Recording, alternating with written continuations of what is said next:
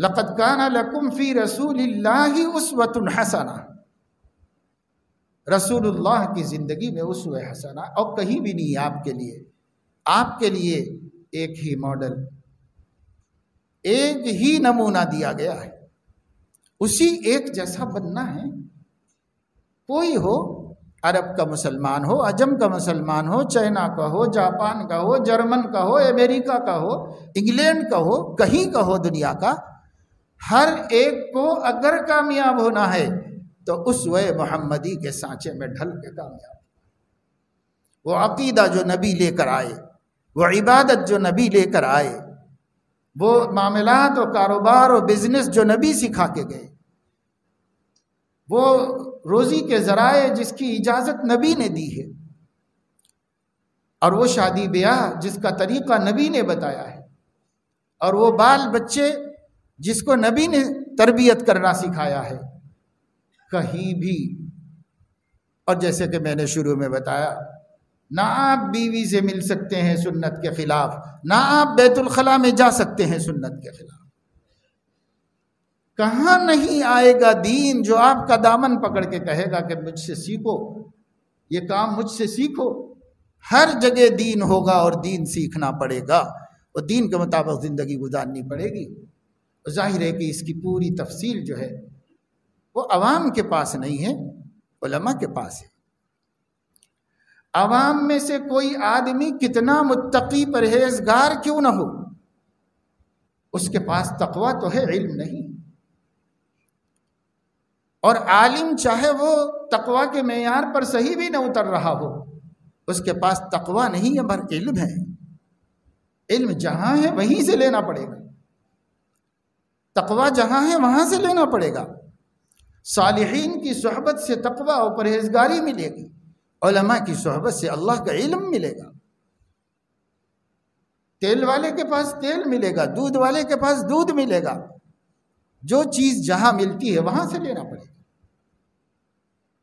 अब बाज लोग इस खब्त में मुबतला हैं कि हम ऐसे दीन की दावत दे रहे हैं जिसके बाद कहीं जाने की ज़रूरत ही नहीं। इस धोखे ने उनको दीन के एक छोटे से हिस्से पर कनात करने पर मजबूर कर दिया। और बाकी दीन से आँखें बंद कर दी। फ़िक्र ही नहीं है पूरा दीन सीखने की। पूरा दीन सीखो भाई, पूरा दीन तुम्हारे पास नहीं है, उलमा के पास है। पूरा दीन अमीर साहब के पास नहीं है, आलिम वक्त के पास है। जिसके पास इल्म है, वहाँ से जाके इल्म लो। अगर नहीं लोगे तो ज़िंदगी पूरी इसी तरह गुजर जाएगी कि जिसको दीन समझते रहे, उसी खप्त में मुबतला रहोगे। और अल्लाह जब बकिया दीन को पूछेगा तो आँखें फाड़ के देखना पड़ेगा और कुछ भी नहीं सीख सकोगे। इसको लोग तमाशा समझ रहे हैं। इसको लोगों ने तासुब बना लिया है। इसको लोगों ने हमीयत जमात बनाया है। झूठी हमीयत, जाहिली हमीयत, ये अरबों को बर्बाद कर चुकी और हर कौम को बर्बाद कर चुकी, आपको भी बर्बाद कर। बड़ी मुश्किल से नौजवानों को जोड़ जोड़ के अकीदा, इल्म, नबी की सुन्नत, नबी की ज़िंदगी, नबी का तारफ़ कराया जा रहा है तो बाज़ अपने को दीनदार कहलाने वाले ये कह रहे हैं, इस बस्ती के अंदर भी, अकबर बाग के महल्ले में, ये कहकर नौजवानों को रोक रहे हैं कि वो ज़्यादा ज़रूरी काम नहीं। ज़रूरी काम वो है जो हम बता रहे हैं। ये काम छोड़ के दूसरे कामों में जाओगे तो फितने होंगे। लाहौलवलाक़वत ऐसे जाहिल को अपने ईमान की तजदीद करनी चाहिए, जो इल्म दीन सीखने से फितनों का ख़तरा महसूस करता है। उसको पहले अपने ईमान की दावत तो बात की बात है, पहले अपने ईमान की तजदीद करो, इस कुफ्र से तोबा करो अल्लाह ताला से। कहाँ से लेके आ गए हैं ये जहालत? इल्म ही से मिलता है। से सीखो। अमल करने के लिए जमातों में जाओ, अमल करना सीखने के लिए, लेकिन इल्म हासिल करो से। गलत बयानी मत करो, झूठ मत फैलाओ। इस वक्त उम्मत तबाही और बर्बादी में मुबतला है। इस उम्मत को सही बात बताओ। इस उम्मत को कुरान की बात बताओ। हमीयत जाहिलिया, असबियत जाहिलिया को तोड़ो, ख़त्म करो। इल्म रोशनी है, उलमा उसके देने वाले और बांटने वाले हैं। वहाँ नहीं जाओगे तो कहाँ से लोगे? सहाबा सहाबा होकर, आलिम सहाबा की सोहबत में बैठते थे जाकर। सारे सहाबा भी तो नबी के सोहबत याफ्ता थे। फिर क्यों उलमा के पास जाके बैठते थे? फिर क्यों उनसे दीन सीखते थे? जाकर के। आज काटा जा रहा है। आज यूरोप काट रहा है उलमा से, मुसलमानों को। आज अमेरिका काट रहा है उलमा से। आज दुनिया की तमाम तहजीबें काट रही हैं उलमा से। अहले कुरान उलमा से काट रहे हैं, कादियानी काट रहे हैं, शकील बिन हनीफ के मारने वाले उलमा से काट रहे हैं। हर एक ये बोल रहा है कि उलमा से मत मिलो। हर एक ये बोल रहा है कि उलमा से मत मिलो। और ये तबलीगी जमात भी यही करेगी कि उलमा से मत मिलो। आपको तो तरगीब देना चाहिए कि उलमा के पास जाओ। आपको तो तरगीब देना चाहिए कि उलमा के साथ बैठो भाई। इल्म सीखो, दीन सीखो, ये बोलना चाहिए। जाने वालों को कह रहे हैं कि फितना होगा इससे। ये कह रहे हैं, कब तक सब्र करे भाई? न तुम सदमे हमें देते, न हम फरियाद यूँ करते, न खुलते राज सर बस्ता न ये रसवाइयाँ होती। अभी तक हम संभाल के लेके चल रहे इस जमात को। अभी तक हम हिमायत कर रहे हैं, अभी तक हम इसकी तायद कर रहे हैं, तरगीब दे रहे हैं। अगर आप ओलमा से काटने का काम करोगे तो फिर हम जबान खोलेंगे, जबान खोलने पर मजबूर। है ये काम अकल से काम लो, समझ से काम लो, तासुब मत फैलाओ। उलमा से उम्मत को मत काटो, बल्कि हर बयान में बोलो कि नौजवानों, उलमा जो भी आपकी बस्ती में थोड़ा वक्त गुजारो, बैठो, सीख लो। अकीदा क्या है ये सीख लो, इल्म क्या है ये सीख लो। आप अकीदे पे बयान भी नहीं करते। आप ये बोलते हैं कि जब ये सब क्यों नहीं नहीं भाई, हम, हमारा महदूद काम है। हम सिर्फ़ छः नंबर के पाबंद हैं। तो फिर पाबंद रहो और लोगों को बाकी छः के अलावा सात, आठ, नौ, दस सीखने दो ना। उसके पास जाने दो ओलमा के पास। या फिर साफ़ कह दो कि ये छः नंबर ही दीन है, इसके बाद इस्लाम कोई चीज़ नहीं है। ये बोल दो। अगर इसके बाद इस्लाम कोई चीज़ नहीं है तो फिर उस वक़्त देख लो कि आपका वजूद कैसा रहेगा मुल्क के अंदर। आप एक तरफ़ ये कहते हो कि हम महदूद दावत दे रहे हैं, बाकी दावत उलमा का काम है। तो जाने क्यों नहीं देते लोगों को? सीखने क्यों नहीं देते उलमा से? करीब करो मदारिस से, करीब करो उलमा से। हज़रत मौलाना इलियास साहब रहमत ने यह फरमाया था कि हमारी इस तहरीक के ज़रिए खानकाहों को मुरीदीन मिलेंगे और और मदारिस को तलबा मिलेंगे। और मिले भी, जिस ज़माने में जहालत नहीं थी की मानते थे, उस ज़माने में मिले भी। सब जमातों में लगने वाले रायपुर की खानका में और और अल्लाह वालों की खानकाओं में भी जा जाकर अपनी तरबियत भी करते थे। ओलमा से जुड़कर दीन सीखते थे और फिर काम भी करते थे दावत का लोगों को अल्लाह की तरफ़, मस्जिदों की तरफ़ बुलाने का। अब क्या हो रहा है? अब ये हो रहा है कि रोका जा रहा है। ये कोई ख़ास काम नहीं ये कोई ज़रूरी काम नहीं है। पहले फ़र्ज़ काम करो, बाद में दूसरा काम करो।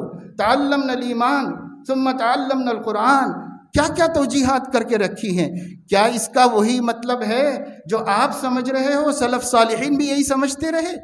साहबा ने भी यही समझा था हज़रत उमर के इस कौल को? ताबीन ने भी यही समझा था? अगर मुहदसिन फ़ुकहा भी ये समझ के बैठते तो आज दीन बाकी ही ना रहता दुनिया के अंदर। दीन उसी ज़माने में ख़त्म हो चुका होता। आप क्या ला करके बांटते लोगों को? जब ख़त्म हो चुका होता। इसलिए मैं आज क्लियरली साफ़ बात बता रहा हूँ। कि ऐसी बात अगर कोई कहता है तो मत मानो अगर अपनी आकबत दुरुस्त करना चाहते हो। अगर दीन इस्लाम का तहफ़ करना चाहते हो, समझ जाओ कि कोई जाहिल है, इल्म की कमी है, इस वजह से ऐसी बात बोल रहा है। इसका असर मत लो और जहाँ इल्म है वहाँ जाओ। उलमा की सहबत में बैठो, आधा घंटा पौन घंटा दो, उलमा से दीन सीखो। रोज़ नहीं देख सकते हफ़्ते में एक दिन दो। दस दिन में एक दिन दो दो घंटे दो, एक घंटा दो। जानो कि ये दीन क्या है। जानो कि इस कुरान में क्या है। पचास पचास बरस से काम कर रहे हैं और अभी तक कुरान करीम की एक आयत का मफहूम नहीं मालूम, माना नहीं मालूम। क्या कुरान अल्लाह ताला ने सहीफ़ों में लपेट के रख देने के लिए नाजिल किया है? क्या अल्लाह ताला ने कुरान मजीद को जुजदानों में बंद करके, बॉक्सेस में दफन करने के लिए नाजिल किया है? या कुरान को उलमा से समझने के लिए अल्लाह ने नाजिल फरमाया क्यों नहीं मुसलमान इस ज़रूरत को समझते कि मुझे ज़िंदगी में एक दफ़े कम अज़ कम अल्लाह के कुरान को समझना चाहिए? यह अल्लाह का लेटर है, मेरे नाम आया है। ये अल्लाह का खत है जो अल्लाह ने मुझे भेजा है। एक दफे तो पढ़ो, बेहिसी की इंतहा हो गई। कुरान का ज़ौक़ नहीं, दरस कुरान का शौक़ नहीं, दरस हदीस का शौक़ नहीं। फ़िकी मसाइल सीखने का शौक़ नहीं, उलमा की सहबत का शौक़ नहीं यह उम्मत बर्बाद नहीं होगी तो क्या हो जाएगी? इसलिए दुश्मन ने भी हमें बर्बाद किया है और दोस्त भी बर्बाद कर रहे हैं। वो दीन के नाम पे कर रहे हैं और वो दीन से दूर करने के नाम पे कर रहे हैं। मत करो ऐसा। खुद भी जाओ उलमा के पास बैठो तो अकल आएगी, इल्म मालूम होगा और ये गलत बातें फैलाना बंद करोगे। बैठो उलमा की सोहबत में, तब कहीं जाके आएगा। अगर ये नमाज़ इल्म के मुताबिक नहीं हुई तो मुँह पे मार दी जाएगी सही हदीस के मुताबिक। टाट में लपेट के मुँह पे मार दी जाएगी। अगर ये नमाज़ इल्म के मुताबिक नहीं होगी। अगर ये रोज़ा इल्म के मुताबिक नहीं होगा तो अल्लाह कबूल नहीं फरमाएगा। अगर ये खैर खैरात इल्म के मुताबिक नहीं होगी तो अल्लाह रद्द फरमा देंगे। अगर ये हज इल्म के मुताबिक नहीं होगा तो अल्लाह ताला मुँह पे फेंक देंगे। अल्लाह ने जो इल्म भेजा है, उस इल्म को सीखो। अल्लाह ने जो इल्म भेजा है, उसको सीखो। इल्म बहुत वसी है। हर जगह ज़रूरत है, हर जगह ज़रूरत है। बिलखसूस इस दौर में अकीदों को सीखने की ज़रूरत है। और अकीदे हर कोई नहीं बयान कर सकता। अकायद बहुत नाजुक चीज़ है। उसे बरसहा बरस तक अपने उस्ताज़ों के सामने बैठकर जिसने अकीदे को समझा है, उसी का हक है कि वह अकीदे को बयान करे। सब कोई नहीं बयान कर सकता। आप कर भी नहीं सकते और जो कर सकते हैं, उनके पास जाने भी नहीं देना चाहते। तो क्या चाहते हैं भाई आखिर? इस उम्मत को जहालत ही में रखना चाहते हैं? इस उम्मत को अकीदों की खराबी ही में मुबतला कर देना चाहते हैं? क्या मंशा है आपका? सोचना चाहिए, गौर करना चाहिए। ऐसे काम, ऐसी बातें जो जाहिलों की बातें हैं, हम दीन के नाम पे बोलेंगे तो कितना उम्मत का नुकसान हो। इसकी तरफ़ तवज्जो दीजिए और फ़िक्र कीजिए, ऐसे लोगों का, अगर ऐसे लोग नहीं समझते तो ऐसे लोगों की बात मानना ही गुनाह है। जायज़ नहीं है, जाहिल अगर आपको मसला बता रहा हो तो आप उसको मान लें। ये जायज़ भी नहीं है। उनसे कहिए कि ये सब आपका हक नहीं है। आपका जितना काम है, उतना हमको सिखाओ, उसके आगे आप हमें मत सिखाओ। उसके आगे हम आलिम से सीखें। आपका जितना काम है, उतना करो। आगे बढ़ के मत बोलो, अपने हद से आगे मत निकलो। तिल का हदूदुल्लाह वमैत हदूद अल्लाह फ़कत ज़लम नफ्सा अल्लाह ने जो हदें मुकर्र कर दी, आमी इतनी तबलीग करेगा, आलिम इतनी तबलीग करेगा। अल्लाह ने हद मुकर्र अपनी हद में रहो, अपने से आगे की बात मत बोलो। अगर अपने से आगे की बातें बोलोगे और इस तरह उम्मत को गुमराह करोगे, कल क़यामत में दीन का काम करने का सवाब नहीं बलेगा, नहीं मिलेगा, उम्मत को गुमराह करने का हिसाब लिया जाएगा। ये अल्लाह का दीन है, किसी के बाप की जागीर नहीं। है न मेरे ज़ात का है, ना आपकी ज़ात का है। मैं भी अगर गलत बोल रहा हूँ तो अल्लाह पूछेगा। और अगर मैं सही रास्ता दिखा रहा हूँ तो इसका अजर देगा अल्लाह ताला। गलत रास्ता उम्मत को मत दिखाओ। हर हर दीन का काम करने वाले की ज़िम्मेदारी है कि अगर वो आलिम नहीं है तो दीन की तरफ़ आने वालों को बार बार कहे कि भाई उलमा के पास जाओ, भाई उलमा के पास बैठो, उलमा के पास बैठो। जिस ज़माने में उसूलों के मुताबिक काम होता था दावत व तबलीग का, हमें याद है हम शरीफ हुए हैं। कि जब जमातें वापस आती थी वक्त लगा करके तो अपने मरकज़ पर पहुँचती थी। मरकज़ पर उनको वापसी की हिदायत दी जाती थी। जैसे जाने से पहले काम करने के उसूल बताए जाते थे। वापस आने के बाद अब घर पे कैसे रहना है, इसकी हिदायत दी जाती थी। उन हिदायतों में ये बात भी कही जाती थी कि देखो भाई, हमने आपको बेफिक्री में से निकाल कर फ़िक्र दिलाई है। दीन का ज़ौक, शौक़ पैदा किया है इतने दिन घर से दूर रखकर, मस्जिद के माहौल में रखकर, ये पूरा दीन नहीं है। अब आप आ गए हो तो अपने बस्ती में जो आलिम हो, उस आलिम के पास जाकर अल्लाह का दीन सीखते रहो, दीन मालूम करते रहो। अब कैसे कहा जा रहा है कि अल्लाह का दीन पूरा यही है जो हम कर रहे हैं, बस। इसके अलावा और कुछ नहीं। अब ऐसे पैगाम दिया जा रहा है। पहले ऐसा कहते थे, इसी जमात के अकाबिर और बड़े हजरात। अब ऐसा हाल हो रहा है ये बड़ा अफसोसनाक पहलू है और बड़ी फ़िक्र अंगेज हकीकत है। अगर ये जहालत बर्दाश्त की जाती रहेगी तो फिर इस उम्मत को कोई अल्लाह के अजाब से नहीं बचा सकता। कोई नहीं बचा सकता यह काम भी नहीं बचा सकता अल्लाह के अजाब से। पूरा दीन सीखना मुसलमानों की ज़िम्मेदारी है, अमल करें ना करें। लेकिन दीन सीखना चाहिए, ज़रूरत पर एक एक चीज़ सीखते जाओ सीखते जाओ सीखते जाओ। जो शख्स जानता है और अमल नहीं करता, वो शर्मिंदा रहता है और तोबा करता रहता है। इसलिए जान कर अमल न करने वाले के लिए शर्मिंदगी फिर भी मगफिरत का सबब बन सकती है। एक आदमी जानता ही नहीं है और धड़ल्ले से गुनाह के काम कर रहा है और पता भी नहीं है कि गुनाह की बात है। तो वो कैसे अल्लाह की पकड़ से बच सकता है? इसलिए कुरान मजीद में फरमाया गया है फस अलू अहल जिक्री। इन कुन तुम लातालमून अगर तुम आलिम नहीं हो तो उलमा से पूछा करो। उलमा से पूछा करो। ये चीज़ काफ़ी अरसे से पैदा हो चुकी है और धीरे धीरे इसके अंदर शिद्दत पैदा होती जा रही है। धीरे धीरे ये बढ़ते बढ़ते अभी इस नतीजे पर आ गई है। खुले आम बोल रहे हैं, आलिम की सोहबत में बैठना फितनों का सबब है। का कौन सी हदीस में है भाई? कौन से कुरान में है? क्या तो जो जो तुम्हारी ज़ुबान से निकल जाए वो दीन है क्या? जो आप बोल दें उसे आसमानी वही समझा जाए। हर बोलने वाले को दलील पेश करना है। दलील पेश करो कि ये फ़र्ज़ काम है और वो नफिल काम है। दलील पेश करो इसे। बकदर ज़रूरत इल्म आज किसी के पास भी नहीं। बहुत कम मुसलमान हैं जिन्होंने बकदर ज़रूरत इल्म हासिल किया हुआ है। और ज़रूरत कितनी है वो भी नहीं मालूम है आपको कि कितने को बकदर ज़रूरत कहते हैं, वो भी नहीं मालूम है। फिर कैसे कहते हो कि इल्म हासिल करो? हाँ भाई, मुफ्ती बनना, काजी बनना, ये फ़र्ज़ किफ़ाया है, ये फ़र्ज़ आइन नहीं लेकिन अकीदे दुरुस्त करना, ज़रूरी मालूम हासिल करना, अपनी नमाज़ को सुन्नत के मुताबिक होने का यकीन हासिल करना किसी आलिम के सामने बैठ के ये जो दो रकत मैं पढ़ रहा हूँ, यही मेरी नबी की सिखाई हुई नमाज़ है। इसका यकीन हासिल करना। और हलाल हराम की तमीज़ होना, पाकी नापाकी की तमीज़ होना तयबात और खबीसात की खाने पीने की चीज़ों में तमीज़ होना, रिश्तेदारियों के हदूद की तमीज़ होना, कहाँ पर्दा है, कहाँ पर्दा नहीं है, कौन महरम शरई है कौन नामहरम है? किससे कितना ताल्लुक़ रख सकते हैं? और किससे कितना दूर रहना शरान ज़रूरी है? यह अल्लाह का दीन नहीं है यह नबी ने नहीं सिखाया, ये सहाबा ने नहीं सीखा। और सहाबा इस पर पढ़ते चलते थे, दूसरों तक पहुंचाते नहीं थे। ये सब क्यों नहीं सीखने देते हैं मुसलमानों को?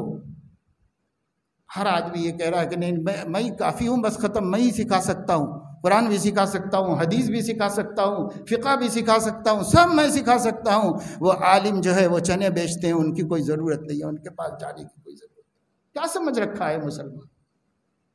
इस पर तो शेखुल हदीस मौलाना जकरिया रहमत जिनके कुतुब फ़जाइल की आप रोज़ाना तालीम करते हो, उन्होंने भी नकीर फरमाई है कि अगर ऐसा करोगे तो उम्मत को तबाही के गड़े में डाल दो उन्होंने भी नकीर फरमाई है इसके ऊपर। लेकिन पढ़ो। पूरी फ़जाइल तबलीग पढ़िए।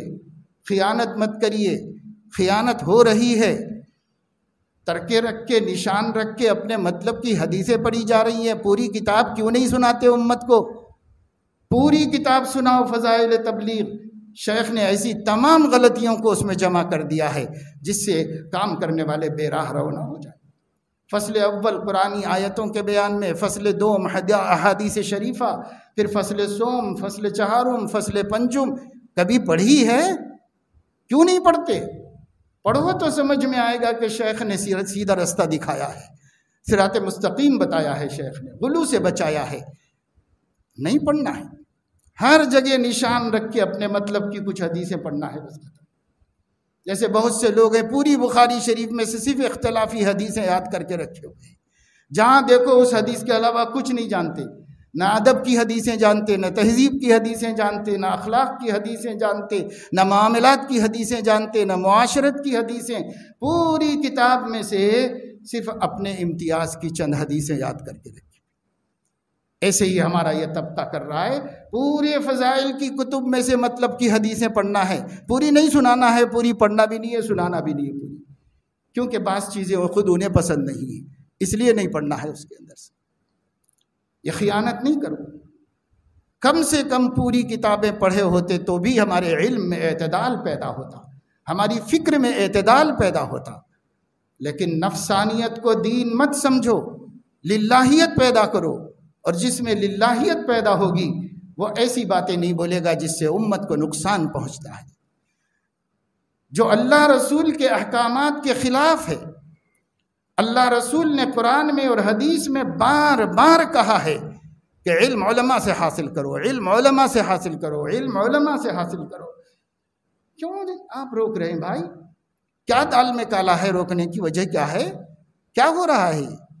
ये बहुत गलत बात है। आज मैंने आपके सामने एक बहुत बड़े मुनकर की तरफ़ तवज्जो दिलाई है। मर्रा मुनकरन फल्युगय्यिरहु बियदी। फ़िल्लम यस्तत फ़बी लिसानी फ़िल्लम यस्तत फ़बी कल्बी कल्ब से अब तक समझते रहे, लेकिन अब ये काफ़ी नहीं है। क्योंकि खामोश बैठने से के जाहिलों ने अपनी ज़ुबान दराज कर दी है। इसलिए वलमा को ज़बान खोलना चाहिए। नहीं खोलेंगे तो लगाम लगाई जाएगी क़यामत के दिन, उलमा के मुँह के अंदर, जहन्नम की आग। इसलिए मैंने आपके सामने साफ़ बात कही है। अच्छा बुरा मानने का कोई मसला नहीं है। सब हमारे ईमान वाले भाई हैं। जो गलत करेगा, गलती बोली जाएगी। और बोलना फ़र्ज़ है, ज़िम्मेदारी है हमारी। हम बोलेंगे, कोई होगा। सब अपने ईमानी भाई हैं, दीनी भाई हैं। इसका यह मतलब नहीं है कि हम कोई इख्तलाफ कर रहे हैं। इसका ये कोई मतलब नहीं है कि हमारे दिल में कोई अदावत, दुश्मनी किसी की आ गई है। नऊज़बिल्लामिनजालिक अल्लाह से हज़ार बार पनाह मांगते हैं कि दीन का काम करने वालों से हमारे दिल में कोई अदावत आ जाए। अल्लाह से पनाह मांगते हैं कि मुसलमान से आम गुनहगार मुसलमान से भी हमारे दिल में कोई कीना आ जाए। हम अल्लाह से पनाह मांगते हैं। ये बात कीने की नहीं, ये बात इख्तलाफ की नहीं, ये बात गलती को दुरुस्त करने की। गलत हो रहा है। जो ऐसा बोल रहे हैं जगह जगह बोल रहे हैं, भाई, मैं पूरे पूरे पूरे जनूबी हिंदुस्तान में फिरता हूँ। मेरे से पूछो एक एक गाँव में ये बातें बोली जा रही हैं, शहरों में ये बातें बोली जा रही गाँव में बोली जा रही है कि मदरसों से कुछ नहीं होता। अरे भाई, मदरसों से तो मौलाना इलियास पैदा हुए, मदरसे ही से तो मौलाना यूसुफ पैदा हुए रही मदरसों ही ने तो मौलाना इनामुल हसन को पैदा करके दिया। मदरसा मजालूम में नहीं तो कहाँ से पढ़ के आए थे वो? मदरसों से कुछ नहीं होता तो तुम्हारे आइम्मा ही कहाँ से आए हैं? तुम्हारे उमरा ही कहाँ से आए हैं? ये तो सब मदरसों की पैदावार है। ये मदरसे न होते तो मानना चाहिए कि इस मुल्क में हिंदुज़म गालिब आ जाता मुसलमानों के ऊपर और अल्लाह का दीन छुप जाता, ख़त्म हो जाता। उल्टी गंगा बह रही है। उल्टी बातें बोल रहे हो? हाँ इतना बोलो। कि अल्हम्दुलिल्लाह, इस दावत तबलीग की मेहनत से चप्पे चप्पे में मस्जिदें आबाद हुई। लोग नमाज़ों की तरफ़ आने लगे। उन्होंने चेहरों पर दाढ़ियाँ सजाई, सरों पर टोपियाँ रखी। अल्हम्दुलिल्लाह, मैं भी मानता हूँ और हज़ारों बार कह चुका हूँ कि यह इस काम की बरकत है। लेकिन सच्चाई वो सच्चाई है और ये जो तुम गलत कर रहे हो ना, ये भी सच्चाई है।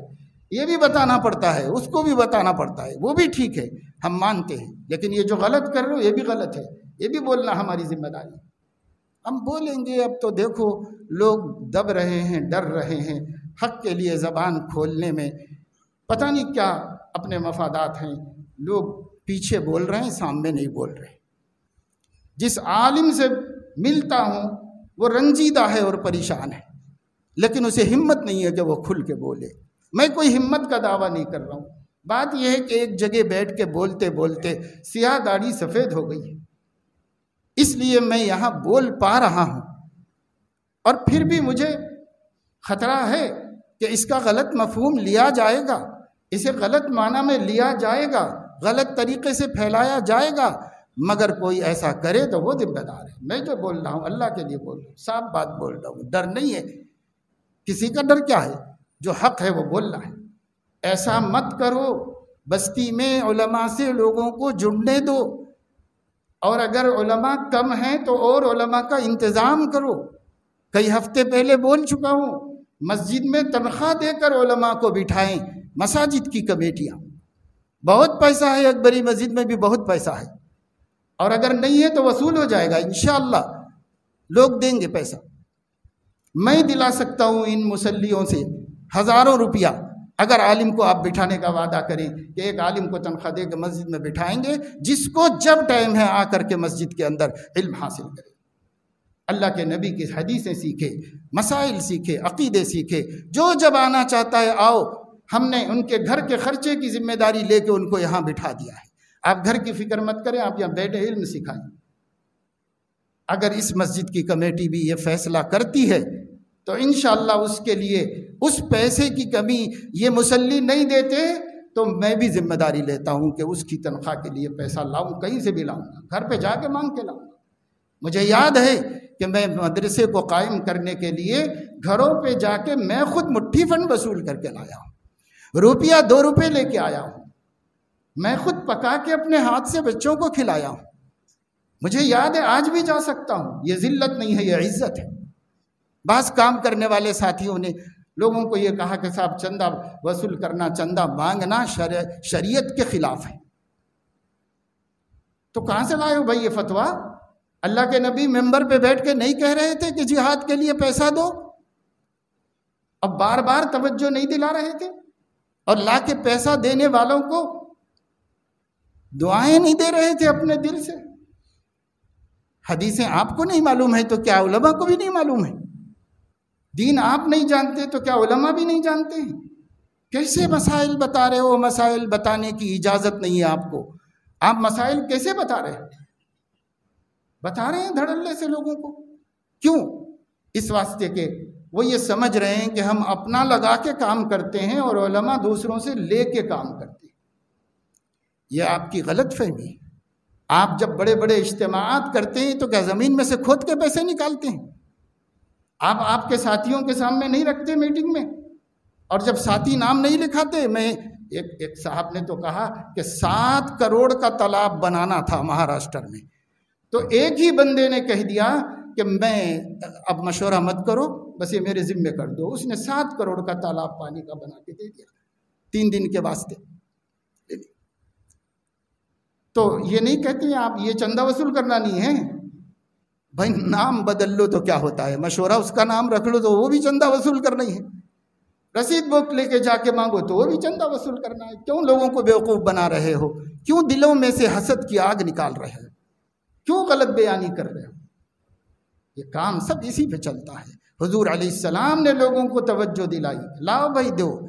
जुमे का खुतबा रोक करके एक गरीब बंदे को खड़ा करके सुन्नतें पढ़वाई हुजूर सलाम ने।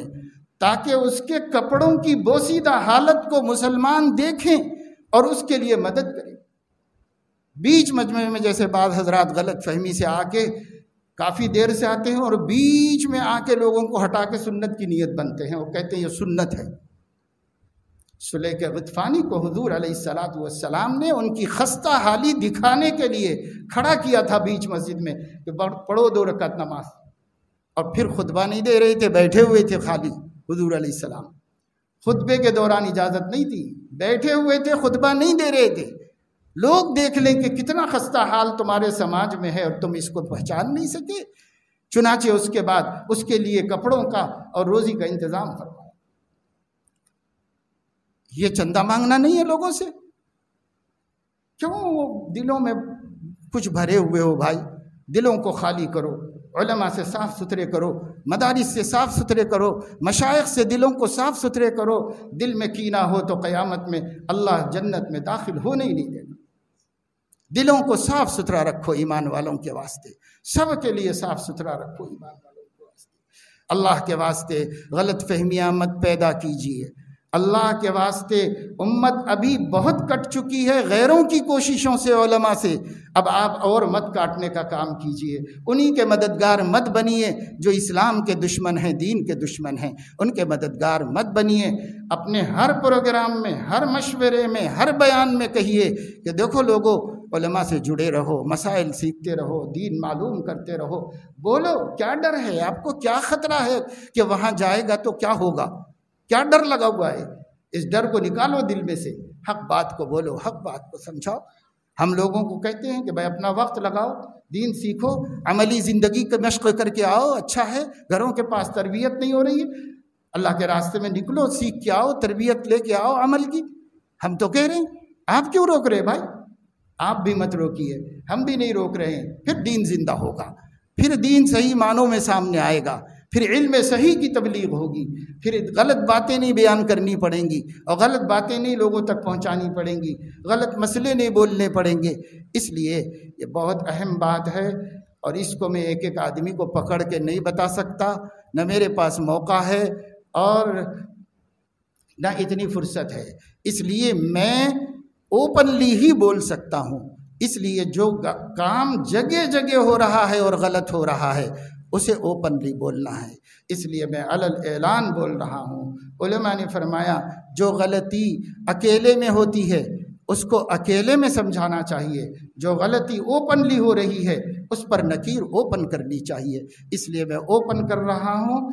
इसे जो, जिन्हें अल्लाह फहम सही अता फरमाएगा, उनको मेरी बात की अहमियत समझ में आएगी। और जिन लोगों को नहीं समझ में आती बात, उनको बस अल्लाह ही समझाए, हम दुआ कर सकते हैं कि हिदायत आपके हाथ में है। आप हिदायत नसीब फरमा दीजिए, सही रास्ता दिखा दीजिए, सही इल्म अता फरमा दीजिए। इसको हम बयान कर सकते हैं। अल्लाह ताला अपने फजल करम से हमें फ़हम सही नसीब फरमाए, फ़हम सलीम नसीब फरमाए। अल्लाह पाक हमको कुरान हदीस की सही रोशनी नसीब फरमाए और इसके लिए अहल इल्म से ताल्लुक़ रखने, उनकी महफ़िलों और मजलिसों में बैठने की तोफ़ी अता फ़रमाए, ताकि हमारे अपने ख़यालात में तोज़ुन पैदा हो जाए अतदाल पैदा हो जाए, गलू और अफरात व तफरीद से हमारी फ़िक्र भी महफूज हो जाए, हमारा अमल भी महफूज हो जाए। अल्लाह ताला इसकी हम सबको तोफ़ी अता फ़रमाए। आमीन वाखिर दावाना अनिलहमदिल्ला रबालमीन